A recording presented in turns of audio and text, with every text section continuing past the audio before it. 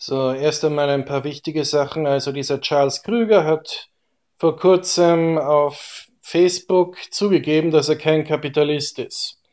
Darüber werde ich wahrscheinlich noch selber noch eine, eine Reihe machen und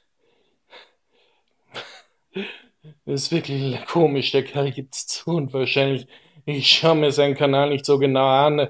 Angeblich hat er ja selber er hat ja auch selber gesagt, er schaut sich meine Videos nicht richtig an. Also warum soll ich mir jetzt noch die anderen Videos, die er jetzt noch macht, anschauen? Ich habe mir schon genug angeschaut und widerlegt. Also er hat es zugegeben und macht trotzdem seinen Idiotenkanal weiter. Also er hat es jedenfalls zugegeben und ich werde wahrscheinlich noch etwa ein paar Videos extra darüber machen, weil das verdient wirklich, dass man da etwas genauer darüber redet. Aber das ist ein anderes Mal. Auf jeden Fall, das zweite ist, ich habe noch einen, äh, ein, ein Video gemacht über MD Geist, äh, den zweiten Teil, MD Geist Death Force. Leider hat YouTube das nicht zugelassen, dass das Zeug auch hochgeladen wird. Wahrscheinlich Copyright. Wobei ich das auch wieder nicht verstehen kann, weil Copyright, ähm, äh, erstens einmal kein Mensch kennt den Film mehr, der ist schon uralt und äh, dass ich darüber rede, ist dann wohl eher Werbung für die Firma, die das, die die Kontrolle über die Rechte hat. Und das Zweite ist, meistens machen sowas Firmen ohnehin nur, weil sie sowas, um die Meinungen von YouTube-Usern zu zensieren, weil es ihnen nicht passt, dass YouTube-User sagen, ähm, dass ihr, ihr Werk schlecht ist.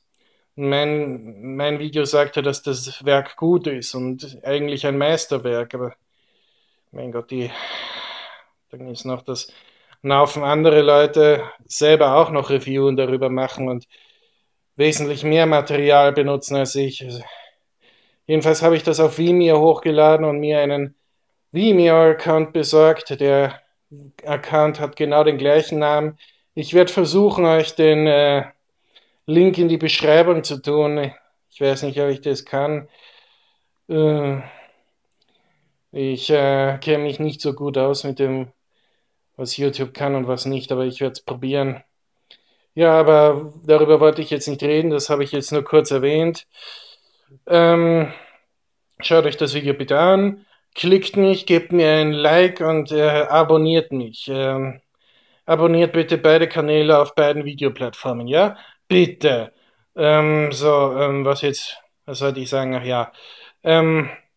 In dem Video will ich ja erklären, äh, was freie Marktwirtschaft eigentlich sein sollte und was sie laut solchen Pseudokapitalisten wie Charles Krüger und leider laut der gesamten, äh, laut der Meinung von fast allen äh, linken und rechten Persönlichkeiten in der, auf der Welt leider, was sie laut deren an, was sie laut denen ist. Also da gehe ich lieber und äh, den Unterschied zwischen dem, was Kapitalismus wirklich ist und was er sei und was sich die Mehrheit so denkt, was er ist, den möchte ich gerne an einem, Beisp an einem Beispiel erklären. Es gibt hunderte Beispiele, aber das Beispiel, das ich machen will, ist das, äh, ist das einfachste und simpelste und am einfachsten zu begreifende. Deshalb nehme ich es. Das ist die Turbinensteuer. Turbinensteuer, was ist das? Also fangen wir mal wir müssen da etwas zurückgehen zeitlich. 1929, große Wirtschaftskrise, äh, Weltwirtschaftskrise, schwarzer, ich glaube schwarzer Freitag. Vielleicht war es ein anderer Wochentag. Jedenfalls, was man da gemacht hat, diese Wirtschaftskrise hat so, dazu geführt, dass man in den USA eine Finanztransaktionssteuer eingeführt hat. Eine Finanztransaktionssteuer. Also man hat im Prinzip dafür gesorgt, dass ähm, Wer auf einer Börse investieren will, der muss einen Teil des Investmentkapitals, das er da reinstecken will, als Steuer zahlen.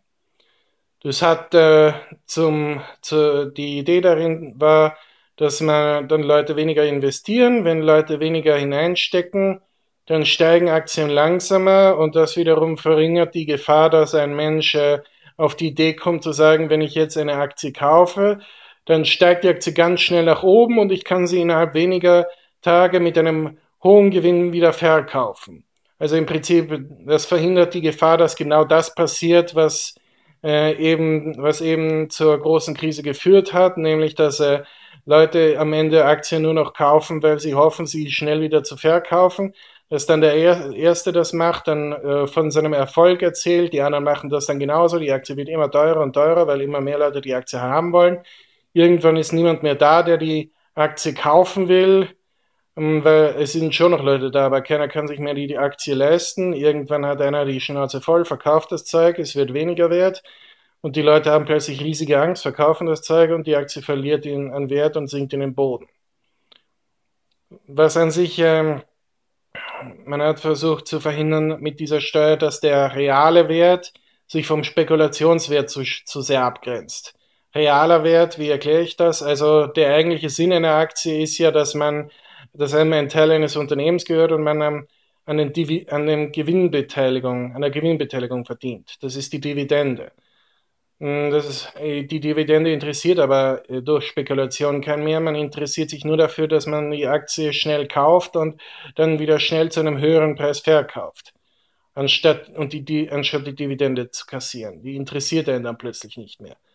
Und das ist ziemlich deppert und das will man verhindern mit der Finanztransaktionssteuer.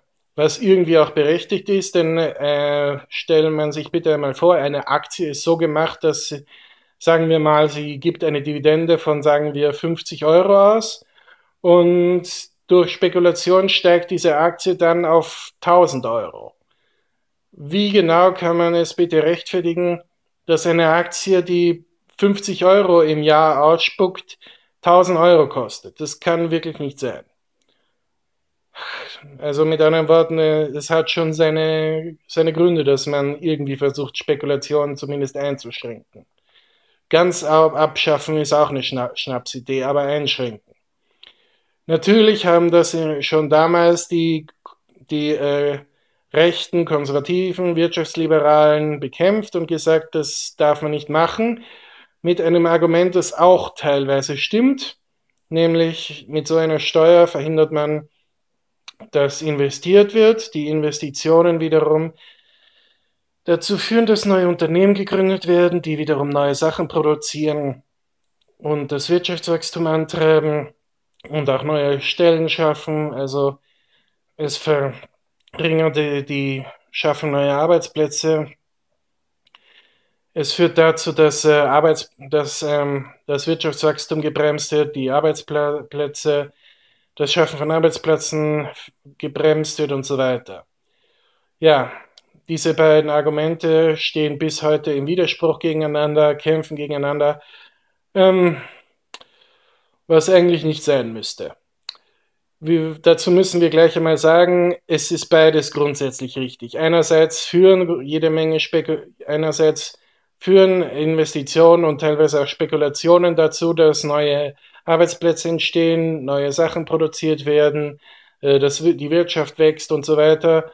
Andererseits führt das aber eben auch dazu, dass eine, dass überspekuliert wird, Blasen entstehen und Krisen entstehen.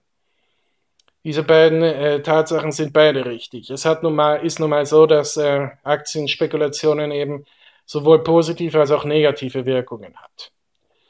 So, damit, das ist jetzt Fakt. Es, es gibt nun mal, äh, es ist, das ist aber auch nicht weiter verwunderlich, dass etwas sowohl positive als auch negative Wirkungen haben kann es, gibt nie, es gibt keine Wirkung ohne Gegenwirkung, so heißt es doch.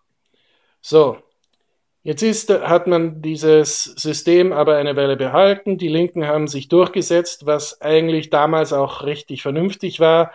Denn äh, so sehr dass die, die, das Wirtschaftswachstum auch bremst, es ist immer noch besser, es kommt, als es kommt zu einer neuen Depression, die es ja damals gab.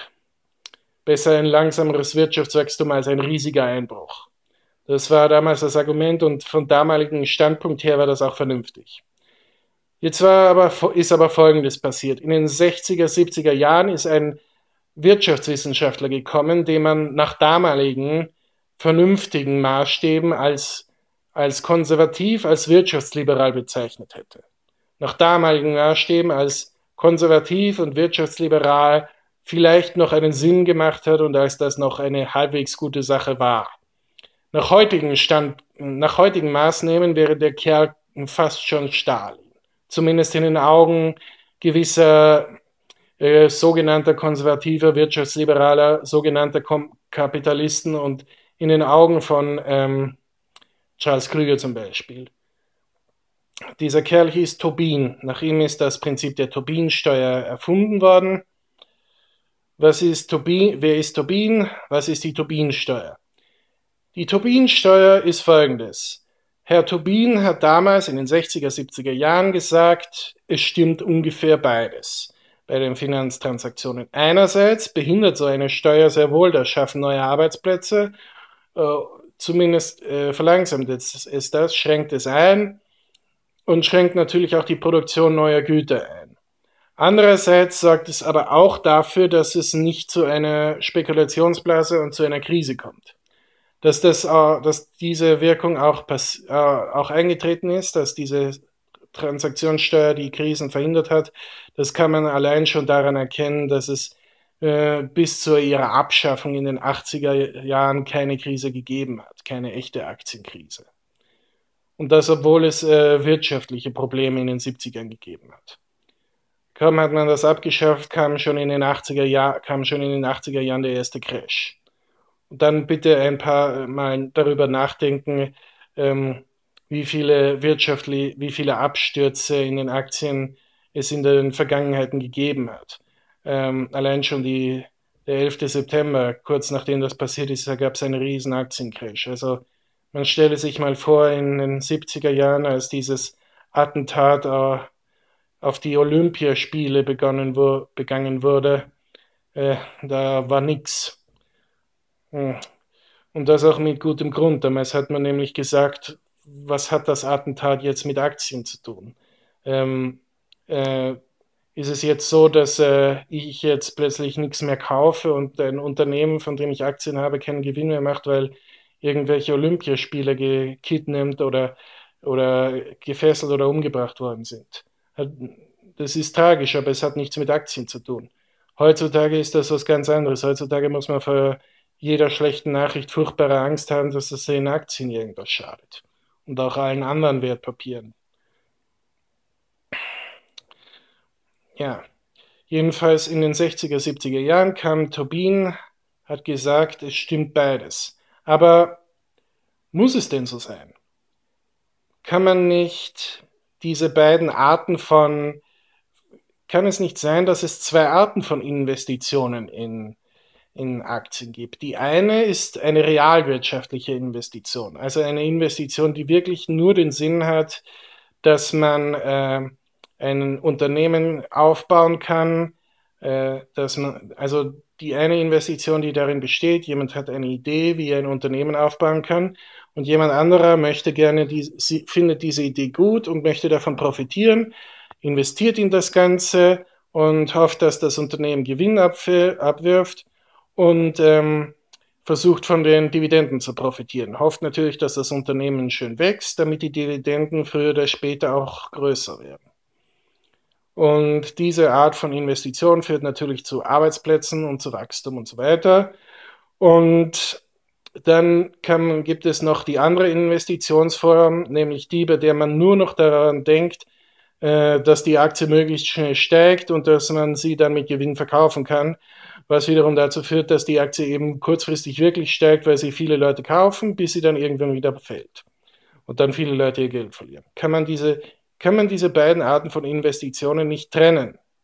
Hat er festgestellt, das geht. Der Keller hat gerechnet, gerechnet, gerechnet, hat dann ein paar Formeln entwickelt, festgestellt, es gibt mathematische Methoden, um festzustellen, hm, welche Art von Investition gut ist und welche nicht. Und zwar ist das letzten Endes so, dass man sogenannte Preisgrenzen festsetzt. Es ist so, äh, nehmen wir an, eine Aktie kostet 5 Euro, dann gibt, es ein, dann gibt es eine Grenze über diesen 5 Euro und eine Grenze unter den 5 Euro. Sagen wir, die Grenze darüber ist 8 Euro, die Grenze darunter ist 3 Euro.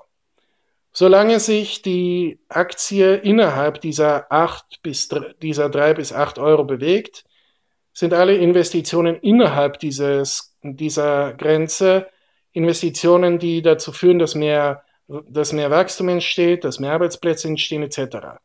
Sobald die Aktie aber über 8 Euro steigt oder unter 2 oder unter 3 Euro fällt, ist es Spekulation. Diese Grenzen sind natürlich nicht willkürlich festgesetzt, die, die rechnet man aus. Und man muss dazu natürlich auch sagen, diese Grenzen verschieben sich schrittweise auch. Weil die Aktie steigt ja schrittweise auch von 5 Euro auf, sagen wir, 6 Euro. Und wenn sie innerhalb eines bestimmten Zeitraumes, also nicht zu schnell äh, von 5 auf 6 Euro steigt, dann steigen natürlich auch die Grenzwerte nach oben. Also der Gren die Aktie steigt auf 6 Euro, schrittweise natürlich. Dann steigt schrittweise eben auch der Grenzwert von oben von 8 Euro auf 9 Euro. Und dann ist es in Ordnung, wenn die Aktie zwischen, ähm, zwischen 6 und 9 Euro steigt. Und gleichzeitig steigt auch der untere Grenzwert von 3 Euro auf 4 Euro. Dann kann die Aktie wiederum zwischen 4 und 9 Euro hin und her pendeln, ohne dass dadurch eine Spekulationsblase entsteht. Geht sie aber über diese Grenzwerte hinaus, ist es, entsteht eine Blase. Das, so ist das ausgerechnet. Und dann hat er gesagt, warum machen wir es nicht einfach so? Sobald die Aktie in ihrem Wert über oder unter diese Werte fällt, wird eine Steuer fällig. Alle Investitionen, die nur dazu führen, dass sie sich innerhalb dieser Werte befindet, gehen steuerfrei aus. Warum machen wir es nicht so? Das war seine Idee. Also, er wollte die Finanztransaktionssteuer modifizieren, modernisieren, verbessern, reformieren. Er wollte sie nicht abschaffen. Das verstehe ich unter liberale Wirtschaftspolitik. Liberale Wirtschaftspolitik eine Effizientermachung von notwendigen Regulierungen. Effizienter. Ja, was hat man da gemacht? Die Tobinensteuer ist nicht eingeführt worden, zumindest erst einmal nicht. In den 80er Jahren hat stattdessen eine Gruppe Wahnsinniger das Prinzip de, des Konservatismus übernommen. In den 80er Jahren kam vor allem ein Mann namens Ronald Reagan in den USA an die Macht, hat die, hat die Finanztransaktionssteuer total abgeschafft. Mit anderen Worten, er hat das Kind mit dem Bade ausgeschüttet. Noch zu seiner Regierungszeit gab es 1986 einen riesen äh, Wirtschaftseinbruch, einen Kurscrash, den ersten seit 1929. Es gab auch eine Krise, Wirtschaftskrise unter seiner Zeit. Trotzdem haben die Konservativen seiner Zeit bis heute das Ganze als wirtschaftliches äh, goldenes Zeitalter bezeichnet, nannten das Reaganomics. Bis heute glauben viele Leute in den USA, das sei ein goldenes Zeitalter der Wirtschaft gewesen. In Wirklichkeit fing, das, fing seine, seine äh, Regierungszeit mit einer Krise an und besserte sich erst in der zweiten Amtszeit leicht. In Deutschland kam ein Mann namens Helmut Kohl an die Macht. Von diesem Helmut Kohl muss man sagen, er hat im Prinzip fast nichts gemacht. Er war, hat einfach im Prinzip nur das weitergeführt, was seine Vorgänger gemacht haben. Mit zwei kleinen Ausnahmen. Einige davon waren nicht so schlecht, einige davon waren allerdings schlecht. Er hat, er hat eben auch die Finanztransaktionssteuer abgeschafft. Er hat noch zwei, drei kleine Reformen gemacht. Einige davon waren nicht so übel, aber im Prinzip hat er die ganzen 16 Jahre eigentlich nichts getan. Deshalb sagt man in Deutschland auch die verlorenen Jahre, die verlorene Dekade, weil er 16 Jahre fast gar nichts getan hat. Kaum was zum Besseren, kaum was zum Schlechteren. Ein paar, besser, ein paar Verbesserungen, ein paar Verschlechterungen. Ja, ich will hier grundsätzlich sagen, man sollte nicht alle Konservativen aus den 80ern über einen Kamm scheren. Zumindest von Margaret Thatcher möchte ich sagen, das meiste, was sie gemacht hat, war gut. Wobei die Wasserprivatisierung, das hätte sie nicht machen sollen. Die hat eh schon sehr blöd, sehr blöd gedacht, ich könnte die, sie könnte ein privates Wassersystem durch, durch staatliche Regulierung kontrollieren. Sie hat ja ein Kontrollamt eingeführt, um sicherzustellen, dass Wasserprivatisierung äh, nicht zu einer Monopolwirtschaft führt. Hat nicht funktioniert, war ja klar. Der Staat kann Wasserprivatisierung nicht kontrollieren, nicht einmal mit strenger Regulierung. Das geht nicht, das ist technisch nicht machbar. Hätte sie eigentlich wissen müssen. Naja, aber auf jeden Fall in den 80er Jahren haben ein Haufen Verrückte den Begriff konservativ und auch den Begriff wirtschaftsliberal übernommen und dann, die, und dann letzten Endes solche vernünftigen Leute wie ähm, wie auch Tobin ins Abseits gedrängt. Und letzten Endes auch vernünftige Wirtschaftsexperten, vernünftige ähm, Wirtschaftswissenschaftler in die linke Ecke gedrängt. Mal ein einfaches Beispiel. Tobin hat ähm, diese Tobin-Steuer vorgeschlagen, dann haben sich einige Leute zusammengetan gesagt, das ist eine gute Idee, das hätten wir gerne, das wollen wir haben. Die haben sich zu einer schönen Gruppe zusammengeschlossen, die ist heute riesengroß, die nennt sich Attac. Ja, diese Gruppe Attac hat einen Haufen Wirtschaftswissenschaftler unter sich, wird trotzdem in den Medien, Medien immer als, äh, nie, äh, als linke Spinner dargestellt. Sie haben auch andere Forderungen übernommen, mm, aber die Tobin-Steuer ist jetzt immer noch, immer noch ihre Hauptforderung. Am Ende musste sich so, hat sich sogar Herr Tobin selber von denen distanziert. Die Typen werden als linke Spinner dargestellt, als Verrückte, als Rowdies. Wenn andere Linke kommen, die wirklich was Verrücktes machen, die wirklich gewalttätig werden, werden die mit Attack in einen Topf gestellt. Und daran sieht man, es gibt einen enormen Unterschied zwischen dem, was eigentlich konservativ oder wirtschaftsliberal sein sollte und dem, was es eben angeblich heute ist. Es gibt noch andere Beispiele. Äh, vielleicht äh, ja, grundsätzlich, äh, dass man überhaupt, ähm, dass man überhaupt solche Leute als Linke bezeichnet, ist schon eine Schweinerei. Bis heute behaupten auch noch alle Leute, dass äh, Tobinsteuer, bis heute lehnen die äh, Wirtschaftsliberalen die Tobinsteuer auch noch als wirtschaftshändlich ab, was absoluter Quatsch ist. Die Tobinsteuer gehört zur Untergruppe der Pigot-Steuern. Was Pigot-Steuern genau sind, will ich jetzt nicht erklären, aber Pigot-Steuern gehören laut, gehören laut sämtlicher seriöser Wirtschaftswissenschaftler zu den einzigen Steuern, die wirklich nur positive Wirkungen auf die Wirtschaft haben. Bei allen anderen muss man abwägen, positiv, negativ, aber bei Pigot-Steuern sind sie alle positiv. Grundsätzlich. Aber das wollen unsere sogenannten Wirtschaftsexperten auch nicht alle, auch nicht sehen, wollen sie nicht hören. Das ist verrückt. Die, die Pigot-Steuern gelten sogar als eines der wichtigsten Universalwerkzeuge gegen Probleme, die der Markt aufwirft, die von liberalen Wirtschaftswissenschaftlern ähm, vorgeschlagen werden. Jedenfalls Fakt ist, äh, mittlerweile haben sich in der EU einige Länder dazu durchgerungen, die Pigot-Steuer, äh, die Turbinensteuer einzuführen. Aber EU-weit blockieren immer noch verschiedene Länder, vor allem Britannien, was es sehr schön macht, dass Britannien jetzt jetzt verschwunden ist aus der EU oder zumindest dafür gestimmt hat.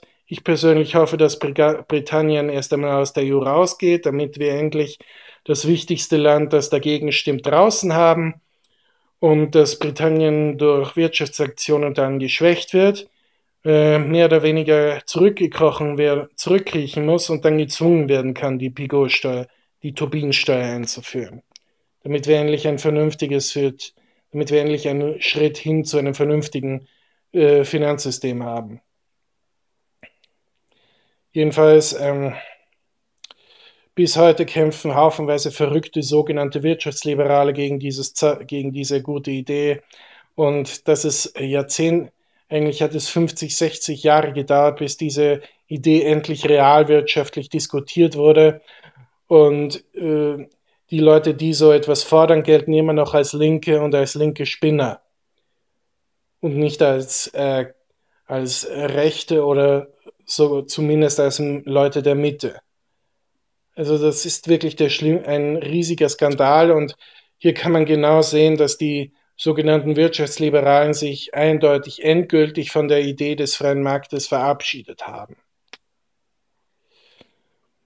Das sind nur noch, man kann nur noch sagen, die haben einfach die Ideen der, der freien Marktwirtschaft genommen, haben einfach das, haben einfach das äh, rausgestrichen aus, der, äh, aus den Büchern, die darüber geschrieben wurden, was ihnen nicht passt. Und das, was sie drin gelassen haben, haben sie nach eigenem Gutdünken äh, umgedeutet, also mh, falsch interpretiert, absichtlich, teilweise unabsichtlich. Äh, ein beliebtes Beispiel ist die unsichtbare Hand, aber darüber will ich jetzt nicht zu sehr eingehen. Auf jeden Fall